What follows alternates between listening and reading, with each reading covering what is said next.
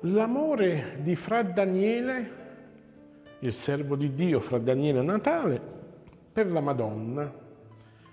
Un amore che gli era stato inculcato sin da piccolo dalla sua famiglia, ma a cui Padre Pio lo ha elevato. Lui dice fra Daniele e Natale, come abbiamo ascoltato ieri, che Padre Pio gli ha insegnato il vero amore, la vera devozione alla Madonna. E uno dei segni caratteristici di chi ama la Madonna è la preghiera ed è la preghiera del rosario. Quelli che hanno conosciuto il nostro servo di Dio, fra Daniele e Natale, e ricordano quasi tutti questa sua costanza nella preghiera.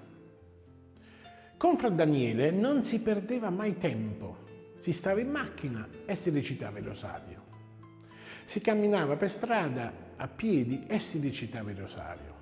Si stava a casa sua e si recitava il rosario. Lo si andava a trovare quando era ricoverato e si recitava il rosario. Lui andava a trovare le persone e invitava a pregare il rosario o sempre i suoi incontri, le sue catechesi si concludevano con la recita dell'Ave Maria, con la recita di una preghiera alla Madonna.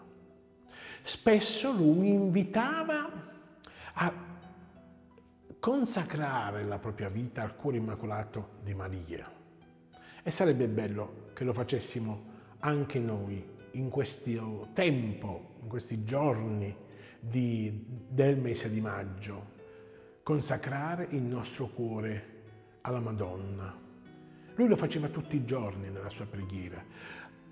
Recitava l'atto di consacrazione al Sacro Cuore Immacolato di Maria e recitava l'atto di consacrazione al cuore di Gesù proprio sull'esempio, come dicevo, del suo direttore spirituale. E chi ama trasmette agli altri questo amore. Quanti hanno conosciuto fra Daniele e Natale hanno sempre avvertito dentro di loro questo riaccendersi o questo scoprire l'amore per Maria, l'amore per la Madonna, questa Madonna che salva sempre i suoi figli. Ma nella vita e nel rapporto con la Madonna tra di Fra Daniele, quindi nella vita di Fra Daniele, in questo suo cammino di devozione a Maria, sempre tutto è andato liscio? Lo vedremo domani. Padre Pio TV, dritto al cuore.